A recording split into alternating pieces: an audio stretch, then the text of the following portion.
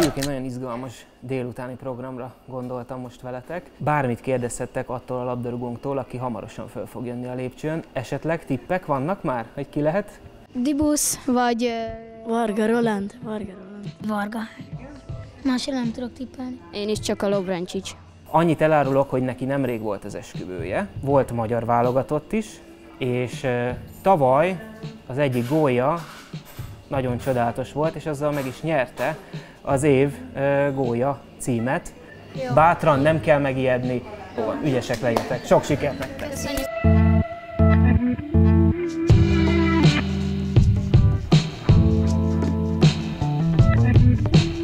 Milyen érzés volt mondjuk az, amikor a videóton ellen kettő gólt rúgtál egybe? Az első gól is már nagyon-nagyon nagy élmény volt, de amikor inkább azt emelném ki, amikor a másodikat sikerült belülni, azzal tényleg annyira olyan nagy felszabadító érzés volt, és azt éreztük az egész csapattal együtt és a szurkolóinkkal együtt, mert pont oda is tudtam hozzájuk futni, hogy ott, hogy ott akár ezzel a góllal meg is lehet a mérkőzés, meg is lehet a győzelem.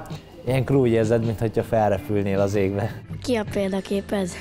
Nekem Iniesta volt mindig is a példaképem, szerintem egy kiváló játékos és nagyszerűen szervezi a játékot ott a belső középpályán. Amikor ennyi idős voltam, mint ti, akkor nagyon-nagyon szerettem volna akár uh, ilyen, ilyen jól bűvészkedni én is a labdával, vagy ilyen jól futballozni. A mostani időszakban viszont azt mondom, hogy a PSG-ben Ferrattit ismeritek? Igen. Na, ő az, aki, csak akinek szintén szimpatizálok most a játékával. Volt-e már ilyen, hogy meccsen ki kellett menned WC-re? Ú, nagyon jó kérdés. Volt egy ilyen, és, és, ezt, és ezt nem is felejtem el szerintem soha. Még olyan 17-8 éves lehettem, akkor már felnőtt mérkőzést játszottuk, és valamiért a hasam nagyon elkezdett csikarni, és úgy éreztem, hogy ezt nem bírom. Az akkori edzőmtől azt kértem, hogy hagyj menjek bárbe, mert valami probléma van a felszerelésemmel, és a sporiknak is ezzel az indokkal kérezkedtem le a pályáról, mert pont büntetőt rúghattunk. És akkor hallottam is pentről, hogy gól lett, úgyhogy egy 0 volt nekünk.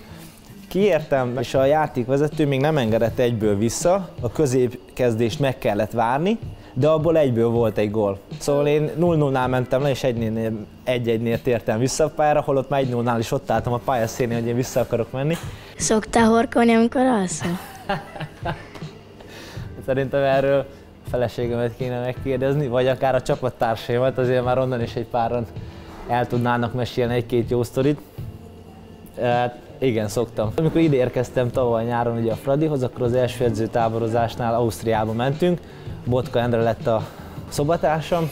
Felkeltem, nem is tudom, olyan éjfél környékén, láttam, hogy nincs az Endi a helyén. Hát mondom, biztos azért mentem, mert elment WC-re. Aludtam tovább, reggel felkeltem, megint nem volt a helyén, lementem reggelizni, jön akkor az Endi is, Hát mondom, hát mondta, hogy hát az, hogy annyira horkoltál este, azt mondja, hogy nem bírtam még a filmet se nézni, nem hogy elaludni, úgyhogy ő kért egy másik szobát, de hála az égnek most is Gergő szokott lenni a, csobat, a szobatársam, mi így vagyunk együtt, és ő neki ez nem probléma, őt nem zavarja az elalvásban, úgyhogy, úgyhogy remélem még sokáig így, ez így marad. Milyen volt, amikor ide jöttél a Fradiba? Mit éltél akkor át, hogy izgultál-e? Olyan érzéssel jöttem, hogy ez egy nagy kaland lesz. Emlékszem még máig az első napról, amikor besétáltam a Népligetbe. Minden új volt, de igazából szeretem ezeket a helyzeteket, és remélem, hogy még nagyon sok szép évet fogok itt eltölteni. Hát akkor sok sikert kívánunk. Köszönöm nektek. Sziasztok gyerek! Egy pacsit itt is. Sziasztok! Milyen érzés volt az, amikor megnyertétek a Szudova elleni meccset, és bejutottatok az Európa Ligába? Ez a pillanat olyan, olyan eufórikus volt, és annyi érzelem szabadult fel bennünk, meg annyi feszültség is. Emlékszem még most is arra a pillanatra, főleg az maradt meg, amikor adtam egy teljesen egyszerű paszt Tokmaknak, ő megtolta egyszer-kétszer, és a hosszút, ahogy kilőtte, ugye azzal lett 3-2, abban a pillanatban azt éreztem, hogy fú, mondom, ez a meccs, ez a meccs meg lesz, és igen, hogy, hogy most már ezt nem engedhetjük ki, ez itt van a markunkban. Kívánom nektek is, hogy éljetek át hasonló perceket. Kisebb korodban, hogy játszottál-e más poszton, nem csak középpályás voltál -e? Igen, játszottam. Én én védő voltam, belső védő voltam. El, el tudjátok képzelni, milyen nagy és robosztus felépítése. Akkor viszont annyira kis vékonyka és kis ö, gyengé voltam, hogy vala, de valahogy mégis belső védőbe játszottam, mert nagyon sokat tudtam futni, jól olvastam a játékot, nagyokat blokkoltam mindig, tehát ilyen önfeláldozóan mindig oda dobtam magam a lövésekbe. Későbbiek során feljebb vittek, mert nem nagyon tudtak hátul tartani az edzők, azt vették észre, hogy én mindig szeretnék menni a támadásra. Hogyha lenne egy kártyád a FIFA-ban, akkor szerinted a FIFA hogyan értékelne téged? Valaki mondta nekem, már nem is tudom ki, hogy, hogy játszott ezzel a játékkal, és hogy a magyar válogatottal volt, és hogy tök jó, hogy én is benne voltam, de hogy azért nézte, hogy, hogy azok a számok azért elég alacsonyak voltak nyilván egy klasszisokhoz képest, úgyhogy valamilyen, nem is tudom, ilyen 60-as, 66-os értékek voltak benne. Megmondom őszintén, hogy nem vagyok nagy videójátékos, inkább olvasok szabadidőmben, vagy eltöltöm valami olyannal, amit úgy érzem, hogy hasznosabb és, és hogy fejleszt. Majd bízok benne, hogy ha jól teljesítek, akkor ezek is feljebb mennek a játékban is. A telefonodban ki, a, ki az a legnagyobb név, akit te beírtál a telefonodban? Például így híresség? Igen. Említeném például Gera Zoltán, akkor a Hajnal, a Tamást, mondjuk a válogatottból is mondjunk valakit, akkor így most már megvan a Zsuzsák Balázsnak is a száma. Mi volt a karriered során a legnagyobb sérülésed? Erre sajnos könnyű a válasz. Keresztalag szakadásom volt 2012-ben.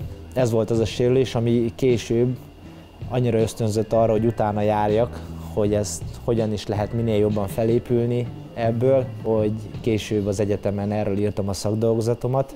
Nem is hitték el, hogy anatómiailag én, én ennyire megértettem ennek az egésznek az összetettségét, de aztán később, amikor meg kellett védenem a szakdolgozatomat, akkor már el, elhitték, hogy ami le van írva, azt tényleg én írtam, és, és tényleg ennyire meg is értettem, hogy miről szól. Egy utolsó kérdés, hogy hallottuk, hogy nemrég házasodtál. Na, És, és, a fe, igen, és a feleségeddel mikor várjátok az első babát? Szeretnénk, ha minél, minél eh, előbb meg lenne úgymond a gyermekáldás, és eh, családdá bővülhetnénk. Ugye nyáron volt az esküvünk, és most télen szeretnénk elmenni még úgy nászútra, hogy Zsuzsi még semmiképpen nem terhes. Azután reméljük, hogy minél hamarabb megadatik ez nekünk, akár akár 2020-ban, 2021-ben meglátjuk, hogy a Jóisten is hogy akarja ezt.